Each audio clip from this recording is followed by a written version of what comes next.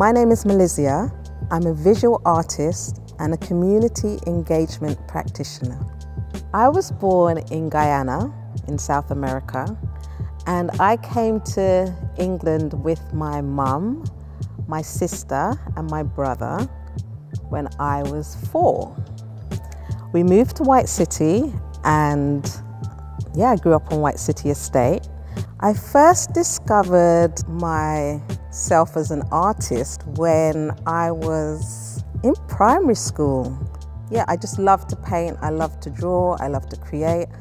My current creative process, I don't quite know how to describe it because for me it comes from God. I sit in front of a canvas and I have paints around me and then I just start creating and I don't know where it's going to lead. Sometimes I have a plan in mind and it goes completely off that plan. So I discover as I paint.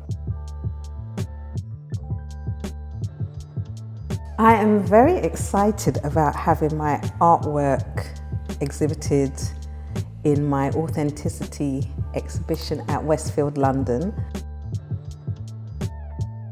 I really wanted to see the art in somewhere that's familiar and it be accessible to everyone. My exhibition is called AuthentiCity because I wanted to do something authentic to myself and where I grew up, which is White City, and we refer to it as City, so it's a play on words. Growing up in White City in the 90s was such an amazing just a vibrant vibe. I really wanted to find a way to express that feeling through art and to share that joy, that fun, that feeling like anything and everything is possible. My block, that one means so much to me. It inspired the whole exhibition.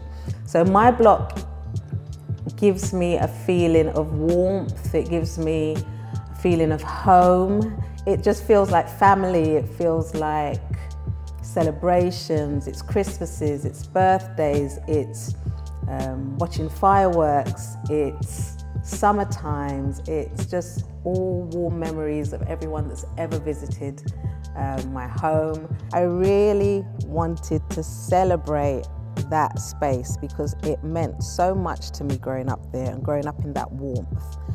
And if you look at the colours, White City does not look like that, and it didn't look like that in the 90s. But when I look at the colours and I see that block, I see vibrancy. I don't see a grey brick building, I see reds and yellows and blues. So that is my block. 90s girls. I'm a 90s girl. So, 90s girl is based on a photograph that was taken in the 90s, it was 95, and it was taken of me and my friends when we were on our way to a Method Man concert. We were at Shepherd's Bush Station, that's now called Shepherd's Bush Market Station, and we took that photo on the platform.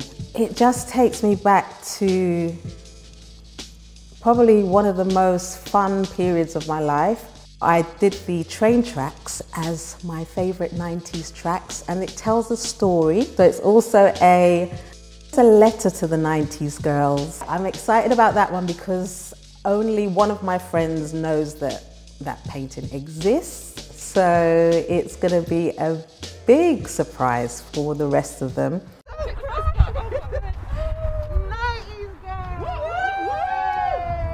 I want them to feel appreciated and acknowledged. I'm so thankful to God for all of my 90s girls and I hope other people who grew up in the 90s or have a love of 90s hip hop especially have some fun with that one.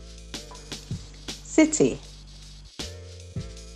That one is just full of energy and it takes us from May down to Carnival weekend. And I wanted to do something that had maybe a bit of the funfair in there or a bit of an all-dayer in there on the green, a bit of Shepherd's Bush Market and all of the fruits and the, you have the the changes of the seasons and the colours get more vibrant as we journey through the painting down to the bottom where it's just a massive celebration. QPR. So QPR, Queen's Park Rangers, is a football club that is on White City Estate. As young black children, we weren't allowed out when QPR were playing. I'd sit in my bedroom and look out of my window onto South Africa Road and see all the football fans coming and going. So for me, it was a very still time where you had to stay inside. But we do love QPR. My mum is a big QPR fan. I couldn't celebrate White City and the community and the landmarks without showing QPR and my primary school, Ellerslie, that was next door to it. Rena. Rena is a portrait of my mum. I really wanted to do something that would celebrate the older people in our community and show them as art and show them as beauty. I love painting older faces because there's so much to to do and see and to really get excited about. I chose to use my mum to represent an older person and she didn't know I was doing the painting. I got to see my mum in a way that I haven't seen her before because I studied every inch of her, of her face. Oh.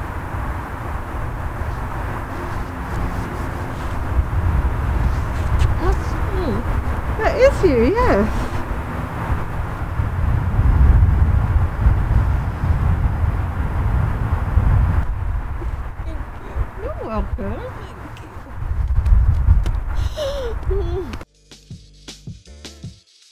The RENA Initiative is a social enterprise that I founded in 2019 to recognise, empower and nurture artists one of our main objectives is to establish free visual arts programs in disadvantaged communities worldwide.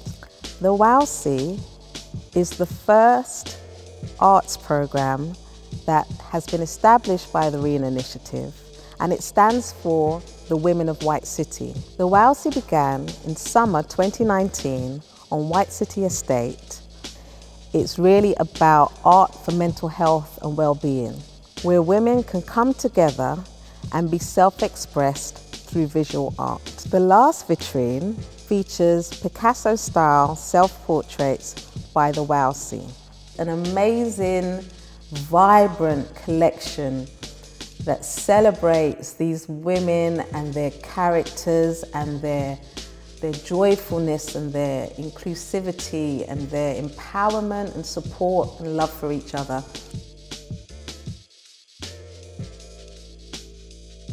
As a self-taught artist who did not grow up with connections in the art world and had no idea how to get my art out there to be seen by the public, I really want to make sure that every time I have an opportunity, I create an opportunity for other people. So the WOWC having their work in my authenticity exhibition is part of me sharing and really creating opportunities for others. I would like my legacy to be a world where everyone is valued, connected and empowered. You can connect with me by visiting my website, mellezia.com. You can also connect through therenainitiative.com and you can follow me on Instagram at Mellezia.